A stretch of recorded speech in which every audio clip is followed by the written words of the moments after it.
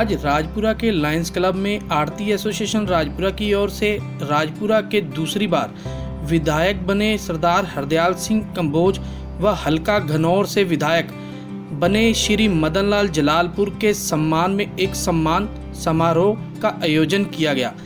इस मौके पर राजपुरा की अनाज मंडी से लगभग सभी आरती भाई मौजूद थे।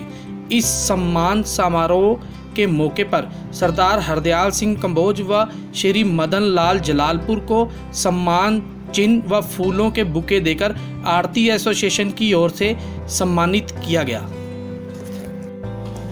इस मौके पर सरदार हरदयाल सिंह कंबोज ने आए हुए आरती भाइयों को संबोधित करते हुए कहा कि, मैं चुनावों के दौरान आप लोगों से वोटें मांगने आया था। और जो वादे उस समय मैंने आपसे किए थे, मैं आज उस पर कायम हूँ और आने वाले समय में सभी वादे पूरे किए जाएँगे। उन्होंने कहा कि आरती भाइयों ने मुझसे एक मांग की है कि मार्केट कमेटी के सेक्रेटरी को तुरंत बदल दिया जाए। तो मैं आपसे वायदा करता हूँ कि उस सेक्रेटरी को तुरंत बदल दिया जाएगा। श्री कंबोज ने कहा कि मैं करप्शन और गुंडागर्दी के सख्त खिलाफ हूँ। ਪਹਿਲਾਂ ਤਾਂ ਤੁਹਾਨੂੰ ਵਧਾਈ ਹੈ ਕਿ ਇਸ ਗੱਲ ਦੇ ਲਈ ਕਿ ਇੱਕ ਬੜਾ ਵਧੀਆ ਫੈਸਲਾ ਪੂਰੇ ਪੰਜਾਬ ਨੇ ਜਿੱਦਾਂ ਲਿਆ, ਤੁਸੀਂ ਵੀ ਸ਼ਾਮਲ ਉਹਦੇ ਵਿੱਚ ਕਿ ਆਪਾਂ ਬਚ ਗਏ ਪੰਜਾਬ ਦੇ ਅੰਦਰ ਕਾਂਗਰਸ ਪਾਰਟੀ ਦੀ ਕੈਪਟਨ ਅਮਰਿੰਦਰ ਸਿੰਘ ਜੀ ਲਿਆ ਕੇ। ਕਿਉਂਕਿ ਜੇ ਕਿਤੇ ਗਲਤੀ ਹੋ ਜਾਂਦੀ ਪੰਜਾਬ ਦੇ ਜਨਤਾ ਤੋਂ, ਕਿਉਂਕਿ ਬੜੇ ਭਾਵਕ ਨੇ ਪੰਜਾਬ ਦੀ ਜਨਤਾ, ਪਰ ਬਚ ਗਏ ਆਪਾਂ ਬੜਾ ਵੱਡਾ ਡਿਸੀਜਨ ਹੋ ਗਿਆ, ਨਹੀਂ ਤਾਂ 1985 90 ਵਾਲੇ ਹਾਲਾਤ ਸਾਡੇ ਪੰਜਾਬ 'ਚ ਬਣ ਸਕਦੇ ਸੀਗੇ ਸੋ ਇਹਦੇ ਲਈ ਮੈਂ ਜਿੱਥੇ ਪੂਰੇ ਪੰਜਾਬ ਦਾ ਧੰਨਵਾਦ ਕਰਦਾ, ਤੁਹਾਡਾ ਵੀ ਕੋਟ ਕੋਟ ਧੰਨਵਾਦ ਹੈ। ਨਾਲ ਕੀਤੀਆਂ ਇਸ ਸ਼ਹਿਰ ਦੇ ਅੰਦਰ। ਮੈਂ ਕੱਲ ਵੀ ਮੈਂ ਪ੍ਰੋਜੈਕਟ ਦੇ ਬਾਰੇ ਮੀਟਿੰਗ ਲਈ ਆ ਤਹਿਸੀਲਦਾਰ ਐਸਟੀ ਸਾਰੇ ਬੈਠੇ ਸੀ, ਮੈਂ ਉਹਨਾਂ ਨੂੰ ਇੱਕ ਗੱਲ ਕਹਿ ਕੇ ਆਇਆ। ਕਿ ਜੇ ਮੈਨੂੰ ਪਤਾ ਲੱਗ ਗਿਆ ਕਿ ਇਹ ਅੱਜ ਤੋਂ 4 ਮਹੀਨੇ ਪਹਿਲਾਂ ਦੂਜੀ ਸਰਕਾਰ ਦੇ ਤਹਿਤ ਮੈਂ ਤਹਿਸੀਲ 'ਚ 170000 ਰੁਪਏ ਵਾਪਸ ਕਰਾ ਕੇ ਆਇਆ ਸੀ ਇੱਕ ਤਹਿਸੀਲਦਾਰ। ਮੈਂ ਕਿਹਾ ਜੇ ਮੈਨੂੰ ਪਤਾ ਲੱਗ ਗਿਆ ਨਾ ਕਿ ਉਹਦੇ ਕਰਪਸ਼ਨ ਹੈਗੀ ਆ, ਮੈਂ ਅੱਜ ਤਾਂ ਤੁਹਾਨੂੰ ਹੱਥ ਬੰਨ ਕੇ ਗਿਆ ਕਿ ਅਫਸਰਾਂ ਨੂੰ, ਬਾਅਦ 'ਚ ਤੁਹਾਡੀ ਡਿਸਮਿਸਲ ਹੋਏਗੀ ਡਿਸਮਿਸ ਕਰਾ ਕੇ ਕੋਈ ਪੁਲਿਸ ਵਾਲੇ ਨੇ ਨਹੀਂ ਕਰੇ ਕਦੇ ਕਿਸੇ ਨੂੰ? ਤੁਸੀਂ ਸਿਸਟਮ ਦੇਖਿਓ, ਤੁਸੀਂ 2 ਮਹੀਨੇ ਬਾਅਦ ਕਿਵੇਂ ਹੋਏਗਾ ਇੱਕ ਵਾਰੀ ਅਸੀਂ ਦੋਵੇਂ ਭਰਾ ਰਾਮ ਰਾਜ ਲਿਆ ਦਾਂਗੇ ਆਪਣੇ ਹਲਕੇ ਚ ਰਾਮ ਕੋਈ ਸਪਲਾਈ ਮਹਿਕਮੇ ਦਾ ਅਧਿਕਾਰੀ ਨਹੀਂ ਤੰਗ ਕਰੇਗਾ, ਕਿਸੇ ਮਹਿਕਮੇ ਦਾ ਤੰਗ ਨਹੀਂ ਕਰੇਗਾ। ਅਸੀਂ ਪੂਰੀ ਤਿਆਰੀ ਚ ਜਿਹੜੇ ਅਫਸਰ ਤੁਹਾਡੇ ਰਾਹੀਂ ਸੁਨੇਹਾ ਭੇਜਦਾ ਮੈਂ ਜਿਹੜੇ ਅਫਸਰ ਸਾਫ਼ ਨੀਅਤ ਨਾਲ ਰਹਿਣਾ ਚਾਹੁੰਦੇ ਆਪਣੇ ਰਹਿਣ ਨਹੀਂ ਆਪਣਾ ਬੋਲੀ ਵਿਤਰਾ ਗੋਲ ਕਰਕੇ ਉਹ ਚਲੇ ਜਾਣ। ਨਹੀਂ ਇੰਨੀ ਬੁਰੀ ਤਰ੍ਹਾਂ ਦੂਰ ਉਹਨਾਂ ਨੂੰ ਭੇਜਾਂਗੇ ਕਿ ਬਾਅਦ ਦੇ ਵਿੱਚ ਸੱਤ ਪੀੜ੍ਹੀਆਂ ਨੂੰ ਯਾਦ ਕਰ ਦੋਗੇ ਕਿ ਰਾਜਪੁਰੇ ਕਦੀ ਕਦੀ ਨਹੀਂ ਖੁੱਲ ਕੇ ਆਪਣੀ ਵਪਾਰ ਕਰੋ। ਅੱਗੇ ਕੋ ਭੇਜਣਾ। ਦੁਕਾਨਦਾਰ ਸ਼ਹਿਰ ਦੇ ਅੰਦਰ ਮੈਸੇਜ ਪਹੁੰਚਾਓ। ਕਿ ਗੁ- ਮੈਂ ਬਿਲਕੁਲ ਇਹ ਗੁੰਡਾਗਰਦੀ ਕਿਉਂਕਿ ਮੈਂ ਦੋ ਗੱਲਾਂ ਦੇ ਬਹੁਤ ਖਿਲਾਫ ਹਾਂ। ਇੱਕ ਗੁੰਡਾਗਰਦੀ ਦੇ ਤੇ ਇੱਕ ਕਰਪਸ਼ਨ ਦੇ। ਇਹ ਤਾਂ ਮੇਰੇ ਬਲੱਡ 'ਚ ਲਿਖੀਆਂ ਹੋਈਆਂ ਨੇ ਕਿ ਇਹ ਦੋ ਗੱਲਾਂ ਦੇ ਮੈਂ ਬਹੁਤ ਅਗੇਂਸਟ ਹਾਂ। ਤੇ ਜੀਵਨ ਦੀ ਮੰਗ ਹੈ ਕਿ ਇਸ ਦੀ ਬਦਲੀ ਕੀਤੀ ਜਾਵੇ। ਬਿਲਕੁਲ ਰਹੇਗਾ ਨਹੀਂ ਜੇ ਕੀਤਾ ਨੋ ਪ੍ਰੋਬਲਮ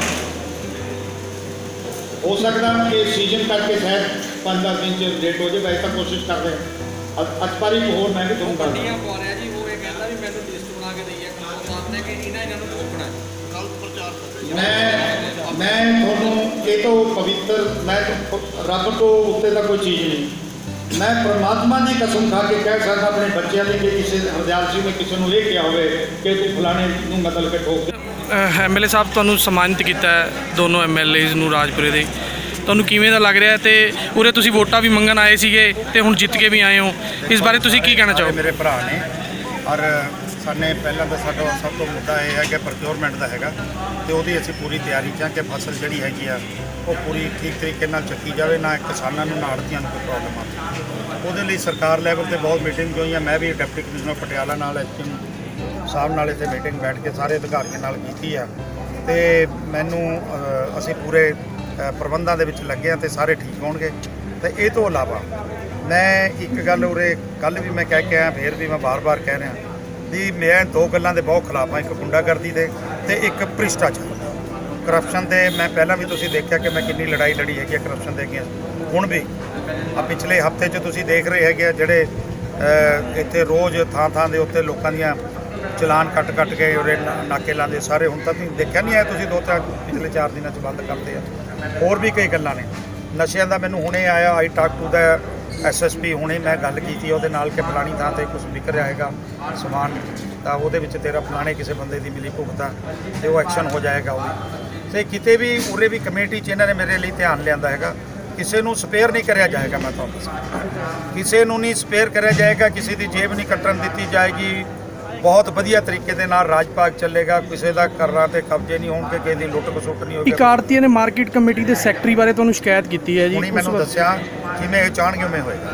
ਤੇ ਪ੍ਰਧਾਨ ਜੀ ਇੱਕ ਜਿਹੜਾ ਹੈਗਾ ਤੁਹਾਨੂੰ ਹਰੇਕ ਉਸ ਵਿੱਚ ਬਾਈਟਿਸ ਅਸੀਂ ਪੁੱਛਦੇ ਹਾਂ ਵੀ ਨਗਰ ਕੌਂਸਲ ਦੇ ਕੋਲ ਚੰਡਾ ਗਰਾਊਂਡ ਦੇ ਕੋਲ ਇੱਕ ਬੂਥ ਇੱਕ ਖੋਖਾ ਰੱਖਿਆ ਪ੍ਰਧਾਨ ਦੇ ਰਿਸ਼ਤੇਦਾਰ ਨੇ।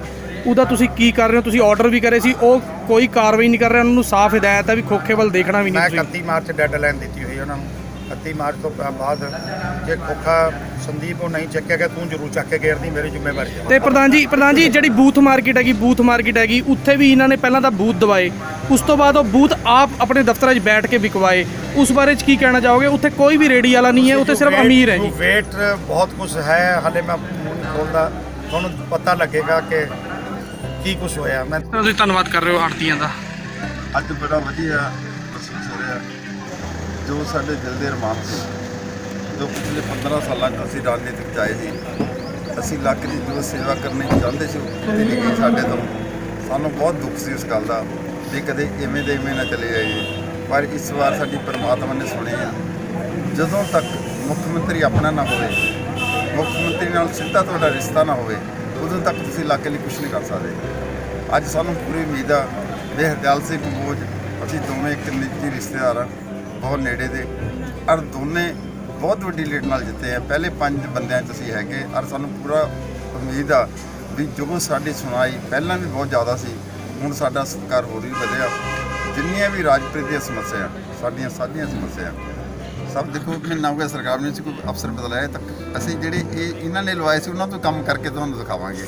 ਇਹਨਾਂ ਦੇ ਅਸੀਂ ਨਕੀਲ ਕਸਾਂਗੇ ਵੀ ਜਿਹੜੇ ਜਿਹੜੇ ਇਹ ਰੁਪਏ ਇਕੱਠੇ ਕਰਦੇ ਸੀ ਹੁਣ ਕੋਈ ਪੈਸਾ ਨਹੀਂ ਇਕੱਠਾ ਕਰੂਗਾ ਜੇ ਇੱਕ ਵੀ ਸਾਨੂੰ ਦੱਸ ਤੁਹਾਡੇ ਕੋਲ ਵੀ ਦਿਓ। ਆਉਂਦੀਆਂ ਸੀ ਸ਼ਿਕਾਇਤਾਂ ਤੁਸੀਂ ਮੇਰੀ ਗੱਲ ਸੁਣੋ ਇੱਕ ਵੀ ਤੁਹਾਨੂੰ ਪਤਾ ਲੱਗ ਜਾਏ ਵੀ ਫਲਾਣੇ ਨੇ ਕਿਸੇ ਤੋਂ ਪੈਸਾ ਲਿਆ ਜੇ ਉਹ ਬੰਦੇ ਦੇ ਪਰਚਾ ਨਾ ਹੋ ਕੇ ਬਲਾਟ 'ਚ ਬੰਦ ਹੋਏ ਨਾ ਫਿਰ ਸਾਡਾ ਤੁਸੀਂ ਜੋ ਮਰਜ਼ੀ ਕਰਿਓ सरदार हरदयाल सिंह कंबोज ने आड़ती भाइयों का एक बार फिर से धन्यवाद करते हुए कहा कि आने वाले समय में किसी भी आड़ती भाई को किसी प्रकार की परेशानी नहीं आने दी जाएगी राजपुरा से संदीप चौधरी न्यूज़ 89